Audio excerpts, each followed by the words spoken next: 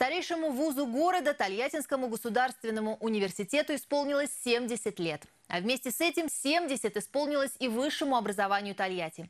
Именно с открытия филиала Куйбышевского индустриального института, который позже перерос в политех, началась подготовка кадров для важнейших в городе отраслей промышленности.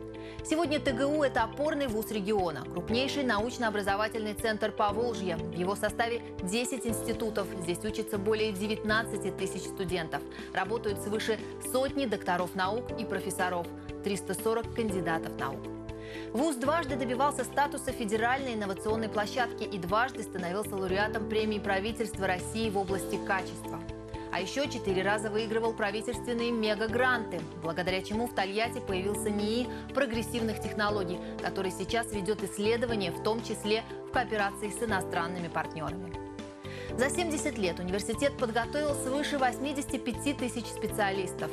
Поздравил ВУЗ губернатор Самарской области Дмитрий Азаров. Сегодня университет – признанный центр инновационного и технологического развития региона.